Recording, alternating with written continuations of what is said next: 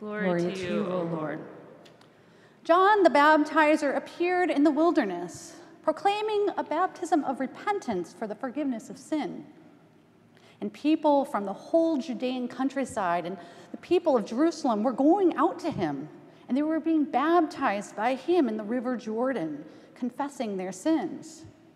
Now, John was clothed with camel's hair, with a leather belt around his waist, and he ate locusts and wild honey. He proclaimed, The one who is more powerful than I is coming after me. I am not worthy to stoop down and untie the thong of his sandals. I have baptized you with water, but he will baptize you with the Holy Spirit. In those days, Jesus came from Nazareth of Galilee and was baptized by John in the Jordan. Just as he was coming up out of the water, he saw the heavens torn apart and the Spirit descending like a dove on him. A voice came from heaven You are my Son, beloved. With you I am well pleased. The Gospel of the Lord. Praise, Praise to you, O Christ.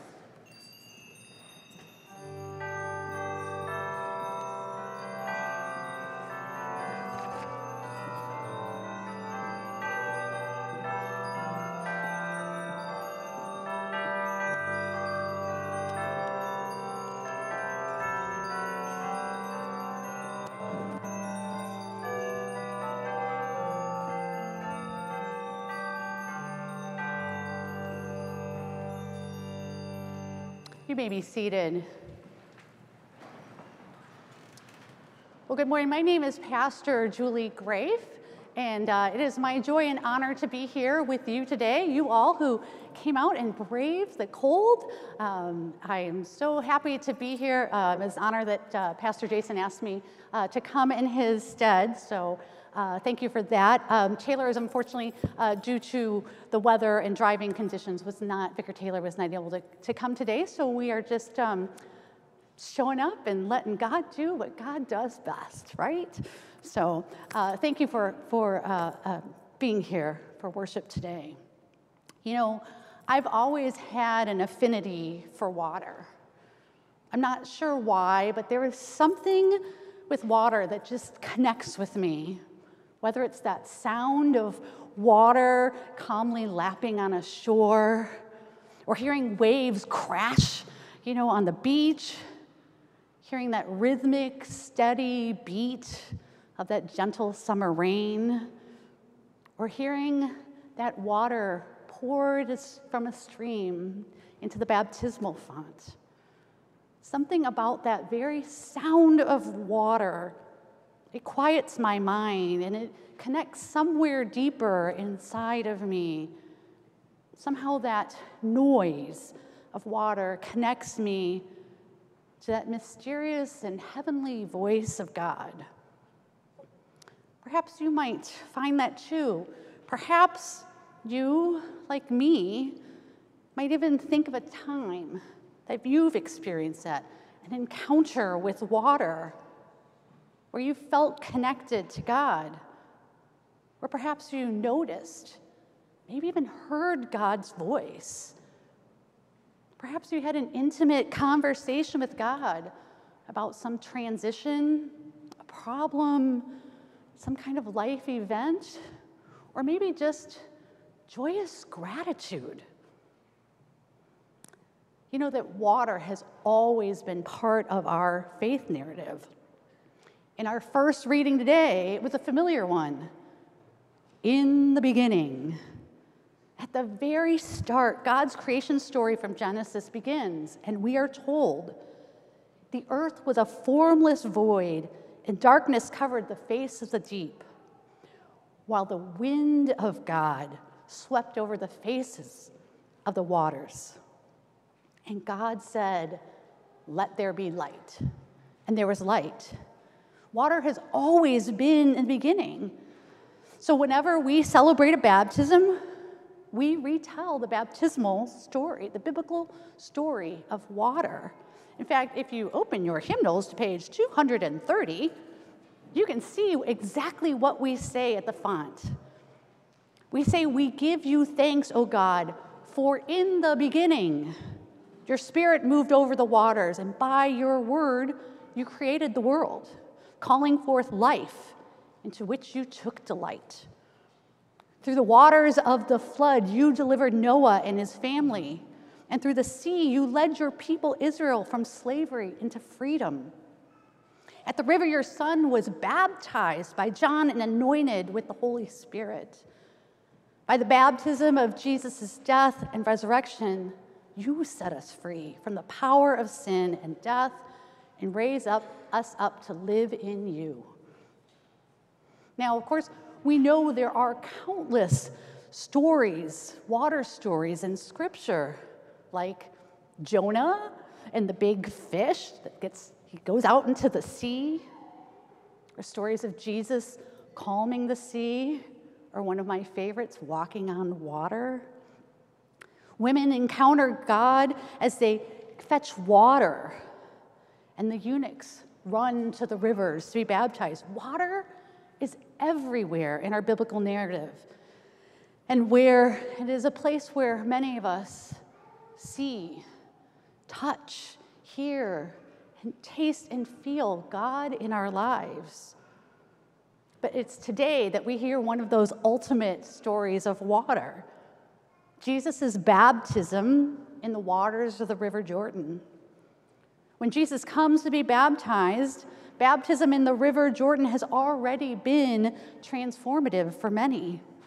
The gospel writer Mark clearly tells us that people from all over the Judean countryside have been coming to John to confess their sins, to repent, and be baptized into forgiveness. As if all those experiences of conversion were not enough, something more extraordinarily happens in that water.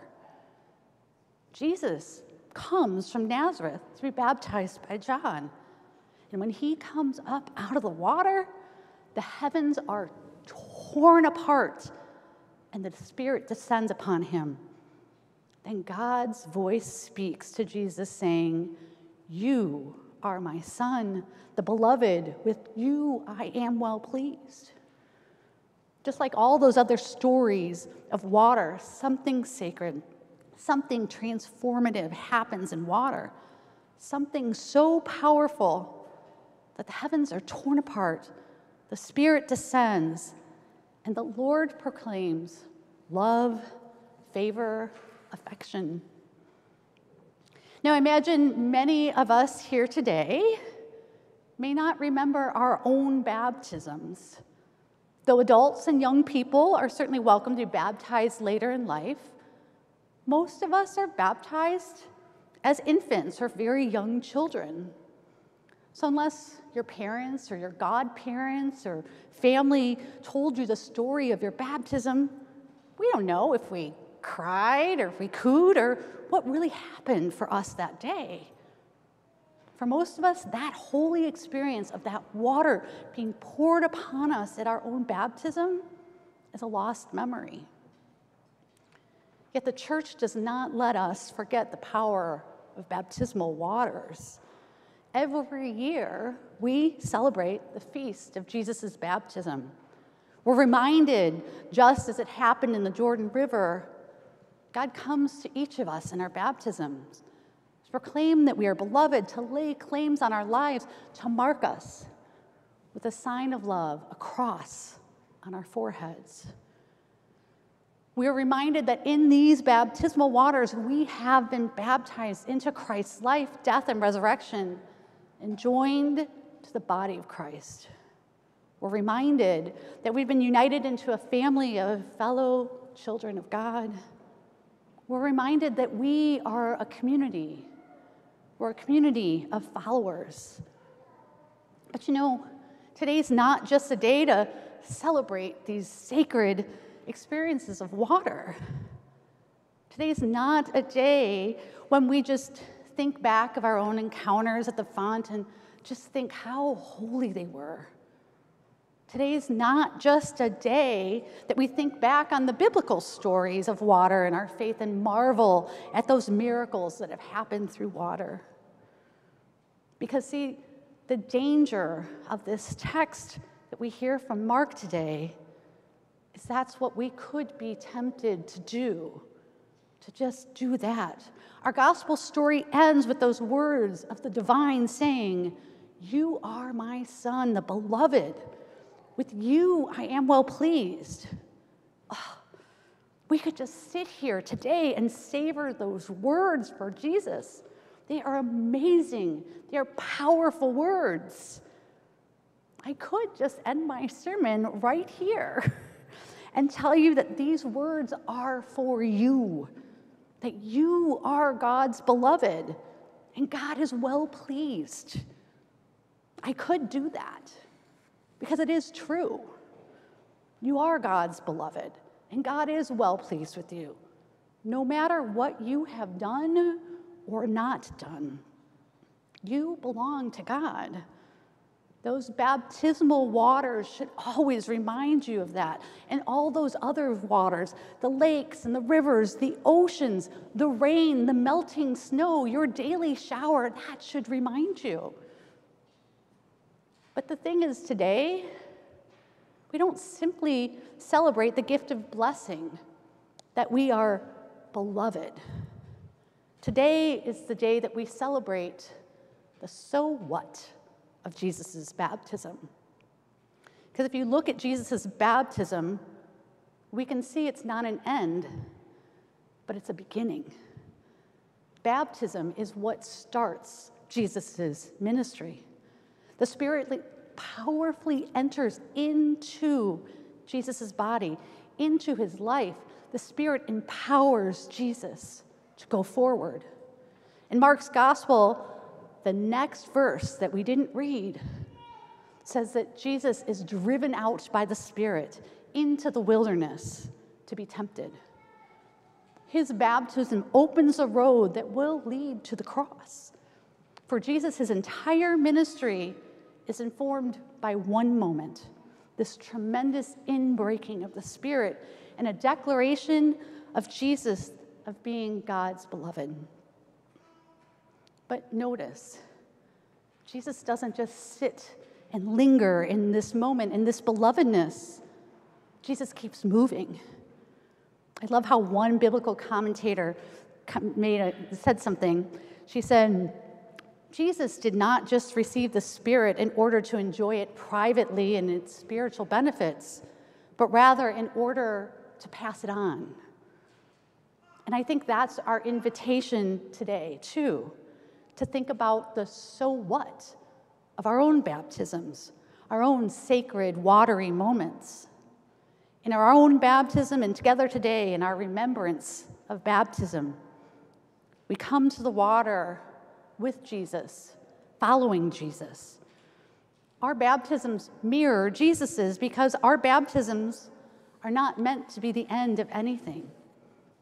Our baptism is not something that completes a divine requirement for our life, but something that starts our own life of ministry, our life of community, our life of following Jesus.